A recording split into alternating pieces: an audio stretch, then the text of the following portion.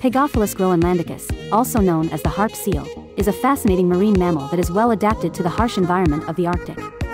These seals are easily recognizable by their unique white coat that is used as camouflage against the snow and ice. Harp seals are expert swimmers and are capable of diving to depths of over 700 meters in search of their prey, which mainly consists of fish and crustaceans. They are also known for their agility and have a unique ability to rotate their hind flippers, allowing them to move quickly through the water. One of the interesting behaviors of harp seals is their use of sea ice for resting and giving birth. Female harp seals give birth to their pups on the ice, which provides them with a safe and secure environment in which to nurse and raise their young.